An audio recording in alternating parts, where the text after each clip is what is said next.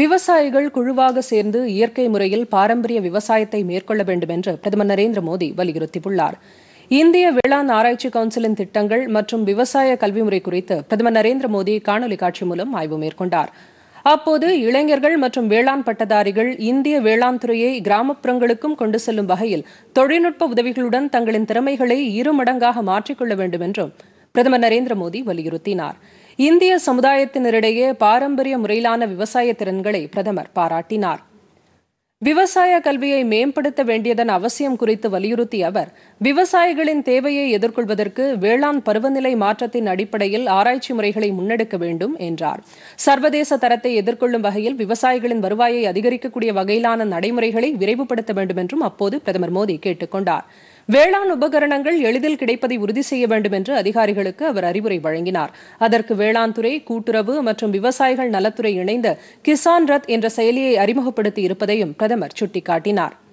தண்ணீரை ஆக்கப்பூர்வமான வகையில் பயன்படுத்துவதை ஊக்குவிப்பதற்கு விழிப்புணர்வு நிகழ்ச்சிகள் நடத்த வேண்டும் என பிரதமர் குறிப்பிட்டார்.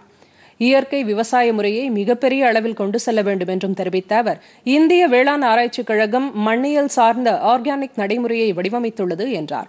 இந்த வேளாண் நடைமுறையை ஊக்குவிப்பதற்கு தேவையான உயிரி கட்டுப்பாட்டு ரசாயனம் மற்றும் உயிரி பூச்சிக்கொல்லி மருந்துகள் அடையாளம் காணப்பட்டுள்ளன என்றார்.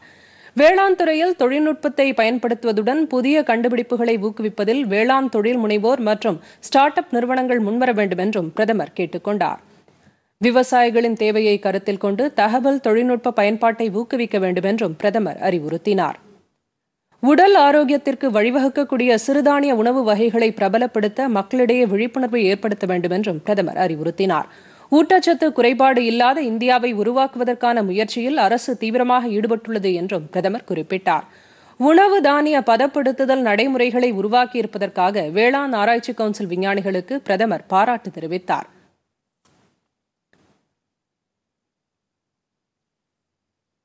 கரும்பு மற்றும் இதர பயிர்களிலிருந்து உயிரி எத்தனால் தயாரிப்பை மேலும் ஊக்குவிக்க வேண்டும் என்றும் பிரதமர் நரேந்திர மோடி அறிவுறுத்தினார். இந்த ஆலோசனையின் போது மத்திய வேளாண் கிராமப்புற மேம்பாட்டு பஞ்சாயத்து ராஜ் அமைச்சர் மற்றும் பிரதமர் அலுவலக உயர் அதிகாரிகள் உள்ளிட்டோர் பங்கேற்றனர். பொதிகை செய்திகளை யூடியூபில் தமிழ் நியூஸ் தூர்தர்ஷன் என்ற சேனலிலும் முகநூலில் டிடி பொதிகை நியூஸ் என்ற பக்கத்திலும் ட்விட்டரில் டிடி நியூஸ் சென்னை என்ற பக்கத்திலும் இன்ஸ்டாகிராமில் டிடி பொதிகை நியூஸ் என்ற பக்கத்திலும் காணலாம்.